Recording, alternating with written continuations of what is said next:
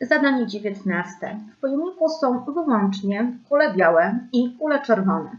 Stosunek liczby kul białych do liczby kul czerwonych jest równy 4 do 5, czyli ta czwórka odnosi się do kul białych, natomiast piątka odnosi się do kul czerwonych. Z pojemnika losujemy jedną kulę. Dokończ zdanie, wybierz właściwą odpowiedź spośród podanych. Prawdopodobieństwo wylosowania kuli białej jest równe. No i my tutaj jako 4x oznaczymy sobie liczbę kul białych. Natomiast jako 5x oznaczymy sobie liczbę kul czerwonych. I teraz, jeżeli te kule do siebie dodamy, czyli liczbę tych kul, czyli 5x plus 4x, czy 4x plus 5x, to my uzyskamy tutaj 9x. 9x to jest liczba wszystkich kul. Na tym etapie możemy już e, wyznaczyć nasze prawdopodobieństwa.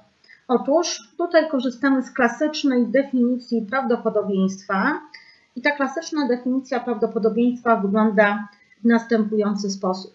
Musimy tutaj e, ilość zdarzeń elementarnych podzielić na ilość wszystkich możliwych zdarzeń. I my tutaj jesteśmy proszeni o to, aby wyznaczyć prawdopodobieństwo wylosowania kuli białej. Zatem liczba zdarzeń elementarnych, tych, które nas interesują, mm, czyli zdarzeń może nie tyle co elementarnych, co zdarzeń sprzyjających, to jest 4x, bo szukamy białej kuli. Natomiast liczba wszystkich możliwych zdarzeń wynosi 9x. Czyli te wartości musimy teraz podstawić do tego wzoru, który napisałam wyżej. Oznacza to, że my uzyskujemy tutaj 4x nad 9x, przy czym zwróćmy uwagę na to, że te x nam się tutaj skracają. Możemy to sobie tutaj na kolorowo przekreślić. W wyniku czego szukane prawdopodobieństwo jest równe 4 dziewiąte, czyli tutaj prawidłową odpowiedzią do tego zadania jest odpowiedź A.